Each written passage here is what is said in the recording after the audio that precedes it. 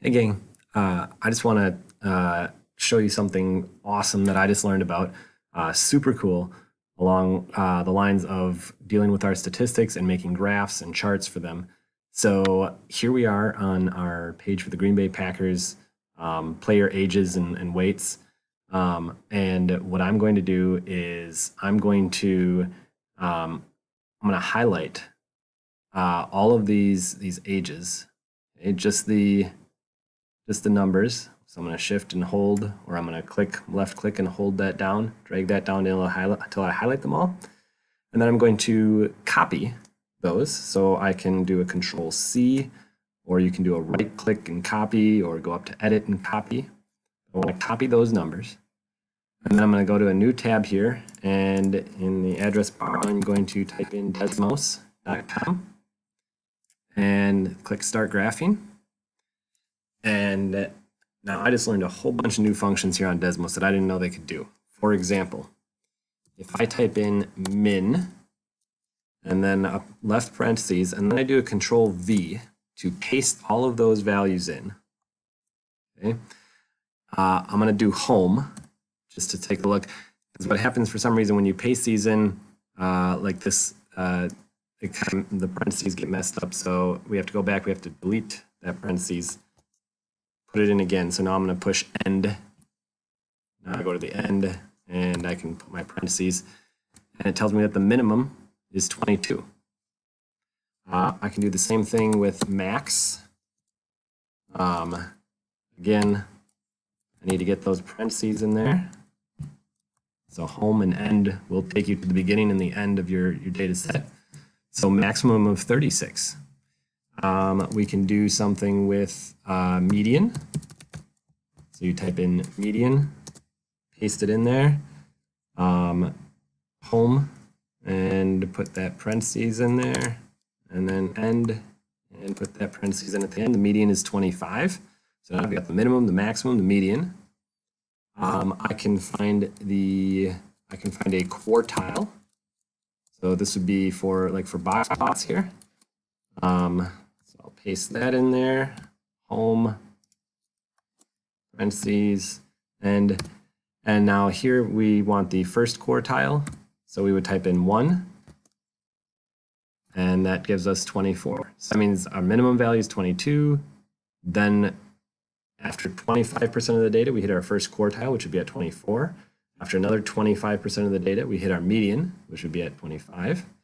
After another 25% of our data, we would hit the third quartile. So I'm going to paste that data in again. Go home, put that parentheses in, go end. This time I want the third quartile. So I'm going to type in a 3. And that's 27. So after another 25% of the data, we hit 27. And then after the last 25% of the data, we get to 36. This is your five number summary here. This is what you need to make a box plot. But even better, we can just do that by typing in box plot and then pasting our data in. Go home, put that parentheses in, and put that parentheses in. Uh, and then it says offset one, height one. We're going to leave the height at one. Offset one just means it's going to move it up off the x-axis a little bit. Um, and we hit enter. I don't see a box plot. Well, we're talking about ages from like 20 to 36. So let's go up to the wrench up here. Let's change the x-axis to go from 20 to 36.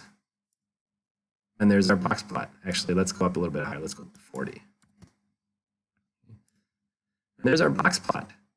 So we can see what this box plot looks like. This also helps tell us what the distribution looks like. The distribution is skewed to the right because we've got this long tail of data to the right. And in fact, this, this part of our median or our box is larger. The right side is larger than the left side.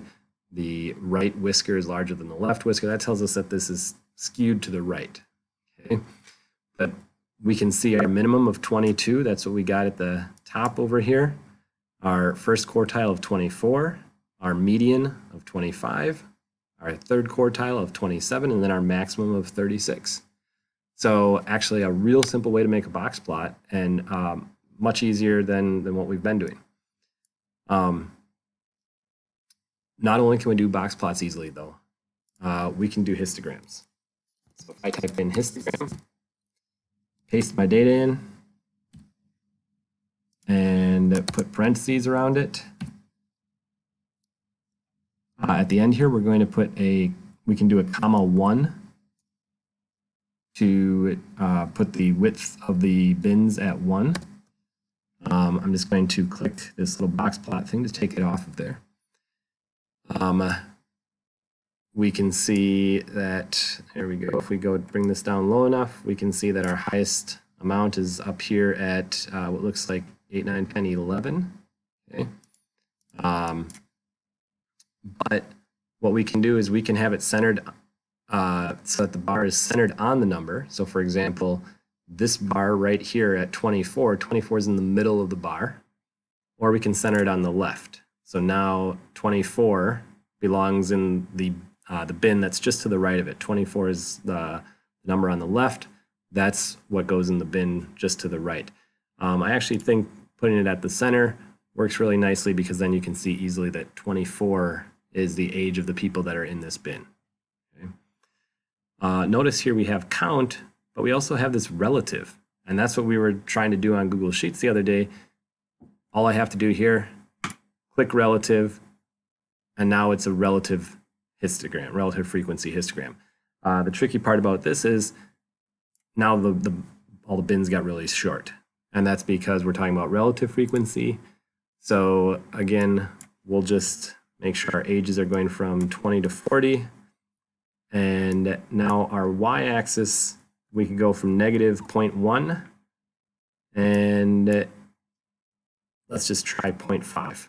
Okay. In fact, we could even go lower. We could go 0.2. It has to be less than 1 because we're talking about a relative frequency here, meaning 20%, 30%, 40%. Okay, we can't have over 100%. So we do that, and we get our relative frequency histogram. Um, so this is a, a, much simpler way of finding, uh, making a histogram, making a box plot, making a relative frequency histogram. Okay, uh, so this is something that I would uh, think that this you would be very valuable in using when you're trying to um, make any of these different types of graphs or charts um, to represent your distributions. I almost forgot to mention um, that we might do other stuff besides histograms and box plots.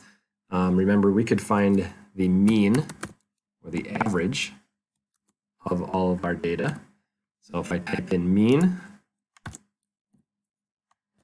okay, tells me the mean is at 26.06 repeating.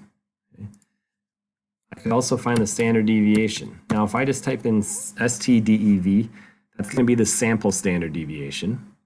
So if I was using the Green Bay Packers as a sample of all NFL players, this is what I would use. However, in this case, I'm considering the Green Bay, the, the numbers that we have for the Green Bay Packers as a population because I'm only interested in the Green Bay Packers. And I have the entire population of Green Bay Packers from last year. So I'm going to put a little p at the end to signify that it's a population standard deviation. And I'm going to paste those values in. I'm going to go back. I'm going to put those parentheses in. And you can see the standard deviation is 3.37. Okay, remember standard deviation kind of talks about on average, how far away is each point from the mean. Okay, so on average, the average player is about 3.37 years away from the mean of 26.07 years. Uh, the nice thing about this is Desmos actually does a normal distribution as well. And we're going to look at that in another video, uh, but we're going to need this mean and this standard deviation to look at that. But that'll be in another video coming up. Uh, hopefully, uh, this will be a lot easier for you making histograms and, and box plots uh, now that you know how to use Desmos.